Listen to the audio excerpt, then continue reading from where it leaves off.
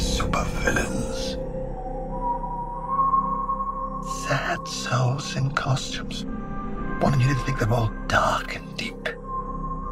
What's it like? Living life as a punchline.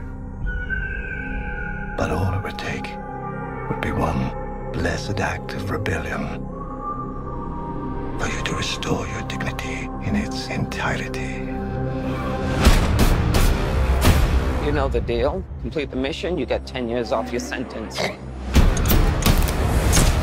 You fail to follow my orders in any way, and I detonate the explosive device in the base of your skull.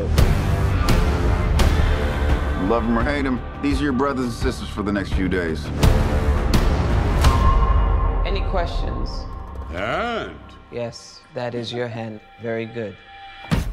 we're all gonna die. I hope so. Oh, for God's sake.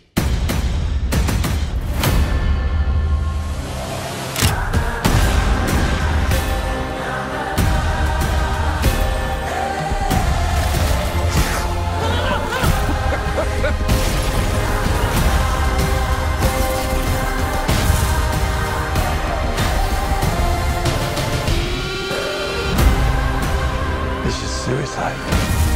Well, that's kind of our thing. What the? Nothing like a bloodbath to start the day. They call you Peacemaker? I cherish peace with all my heart. I don't care how many men, women, and children I need to kill to get it. I thought you were the crazy one. I am.